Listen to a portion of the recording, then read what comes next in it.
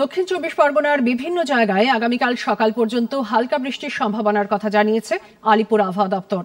অন্যত্র আবহাওয়া শুষ্ক থাকবে। বাইশ তারিখের পর থেকে রাতে তাপমাত্রা বাড়বে বলে জানিয়েছেন আলিপুর আঞ্চলিক আবহাওয়া দপ্তরের প্রধান ডক্টর সঞ্জীব বন্দ্যোপাধ্যায়। ফলে আজকেও যেটা আছে কালকে সকাল অবধি যে ফোরকাস্ট তাতে সাউথ চব্বিশ পরগনা দু এক জায়গায় খুব হালকা বৃষ্টির সম্ভাবনা থাকছে। আর উত্তরবঙ্গের ক্ষেত্রে দার্জিলিংয়ে আগামী আটচল্লিশ ঘন্টায় খুব হালকা বৃষ্টির সম্ভাবনা।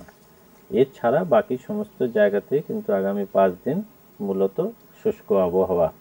দিনের এবং রাতের তাপমাত্রা যেটা দেখা যাচ্ছে, রাতের তাপমাত্রার ক্ষেত্রে আগামী অ্যাটলিস্ট একুশ তারিখ অবধি খুব সিগনিফিকেন্ট কোনো চেঞ্জ নেই।